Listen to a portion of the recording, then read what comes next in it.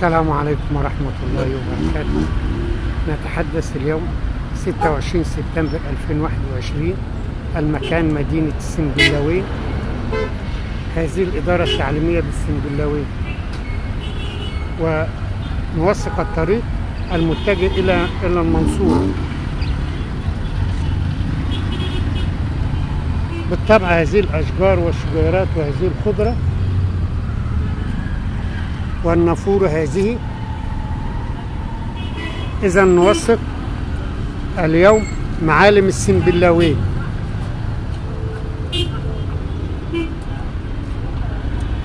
وما نشاهده مزلقان السكة الحديد.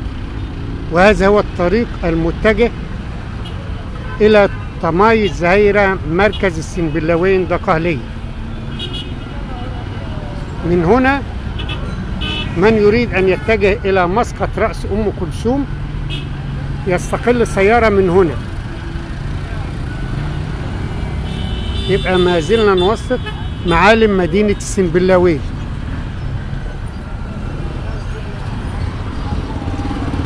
وعلى بعد خطوات من هنا تمثال سيدة الغناء العربي أم كلثوم.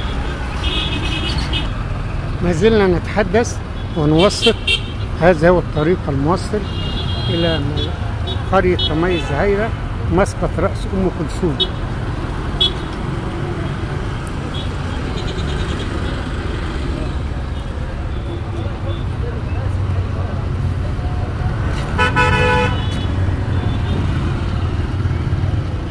هذه معالم مدينة السنبلاوين كما نشاهد.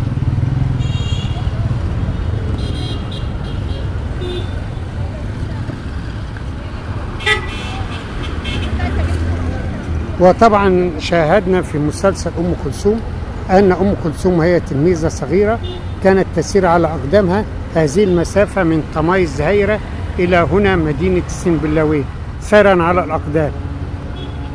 حتى عندما ذاع صيتها وانتشرت في تمارس الغناء الغناء هنا هنا وهناك قام والدها بشراء حمار لها لركوب كانت تركب الحمار ووالدها وشقيقها يسير بجانبها.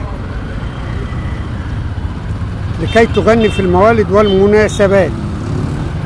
وأتذكر في يوم ما والدها لها قال لها هيا بنا نتجه إلى مولد العوضي والعوضي هذا مقام بقريتنا قرية البقلية.